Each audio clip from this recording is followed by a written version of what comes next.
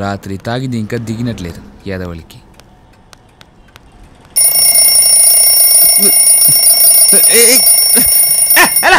పొద్దునే కాగ్గోలా?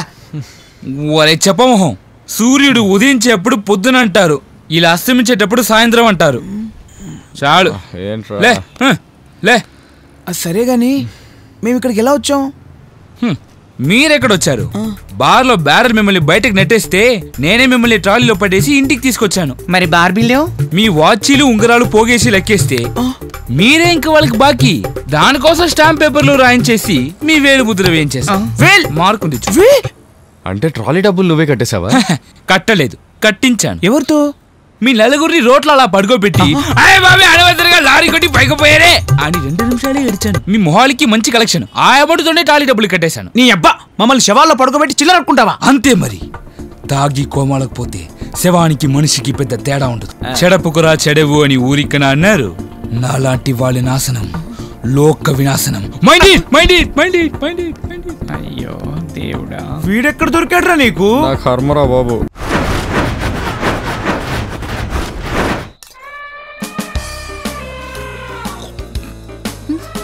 ఏంట్రా నాలుగు రోజుల నుంచి ఏం తినట్లేదా?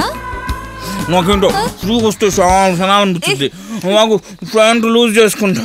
ప్యాంట్ కూడా విప్పారా? కంఫర్ట్గా ఉంటుంది రా భరత్. అంతా ఇక్కడే కూర్చున్నట్టుంది. అందరికీ నా వందనాలు.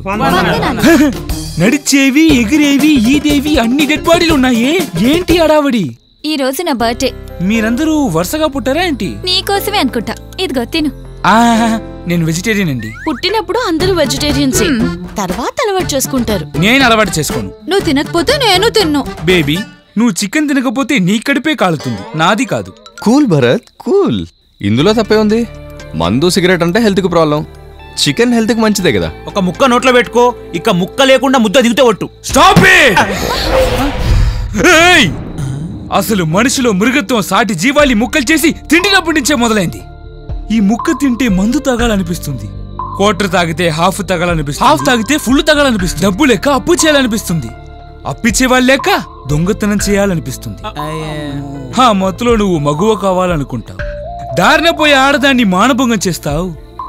ఆ తప్పుని కప్పిపుచ్చడానికి కప్పెట్టేస్తావు. నీ కుక్క బుద్ధిని కనిపెట్టడానికి పోలీస్ కుక్కలు వస్తాయి. మహిళా సంఘాలు వస్తాయి. కామాంధుడి చేతిలో మరో నిర్భయ బలి. అని ఛానల్స్ మూతెక్కిస్తాయి. ఆ తర్వాత మీ జీవితం నాశనం అయిపోతుంది ఈ మొక్క వెనకాల ఎంత మ్యాటర్ ఉందా! ఈ ప్లాన్ కూడా ఫెయిల్ అయింది. ఇంకా ఎద్దులా నిద్రపోతున్నారు. చూడ్డానికి రూమ్లానే ఉంది. క్లైమాక్స్ ఫైట్ జరిగినట్టు ఉంది!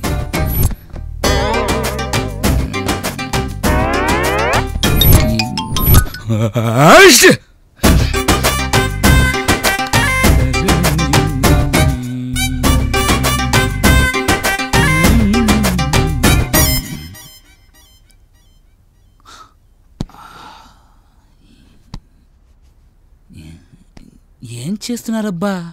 అన్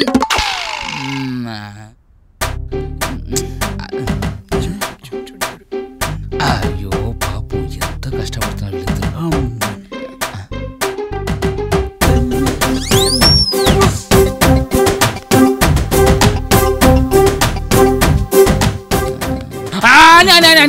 ఇట్రా, ఇట్రా, ఇట్రా, ఇట్రా.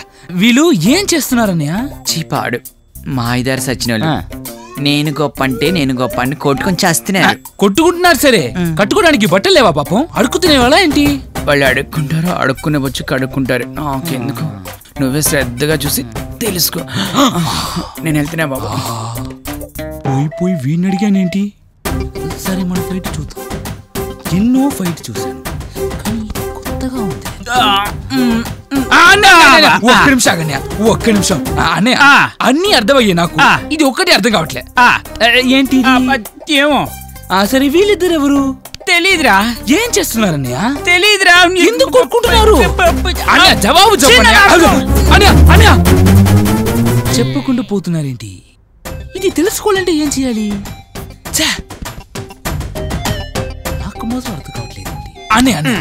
నువ్వైనా నా డౌట్ తీర్చండి తమ్ముడు. ఇది మాత్రం నాకు అర్థం కావట్లేదు. డౌట్ నువ్వా? ఏంటిది? అందరికీ ఒకే టైంలో బాత్రూమ్ వస్తుంది? వాడు మనిషా మునేరా? ఆ. ఆ సీన్ చూస్తే ముని కూడా మన్మతుడు అవుతాడు కదరా? ఇల్లేంటి? రాగుడం టైంలో వచ్చారేంట్రా బాబు? వస్తే ఏమైంది బాబు? ఏమైంది ఏంట్రా? ముందే ఆ సీన్ చూసిన బాధలో ఉన్నావా? వీళ్ళకి ఏం చెప్పాలిరా? మీకే టెన్షన్ చూస్తుంటే మాకే టెన్షన్ అనిపిస్తుంది. మా టెన్షన్ ఎవరితో చెప్పుకోవాలి? ఏంటి మ్యాటర్? అబ్బే ఏం లేదు. ఏం లేదంటున్నావు ఏదో ఉంది. ఏముందో చెప్పరా. ఏం చెప్పమంటారు? లోపల భరత్ గారు అడిగే డౌట్లకి చెప్పలేక చస్తున్నాం. ఆడికి ఏమి డౌట్లు? ఆ, అంటే అది. అబ్బా! డౌట్ అంటే డౌటే. ఆ, అంతే.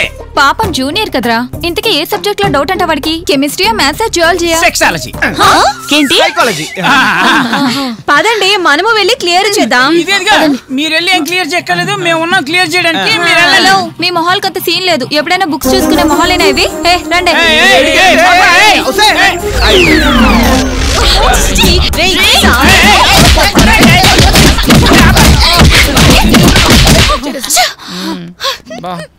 వచ్చాడురా. ఏమైందిరా? ఏం చెప్పంటావురా? మీ బామ్మర్ది వల్ల ఇదంతా. చీ డబ్బా. ఇది దొబ్బిందా? వీడికి థియరీ కాదురా. ప్రాక్టికల్సే కరెక్ట్.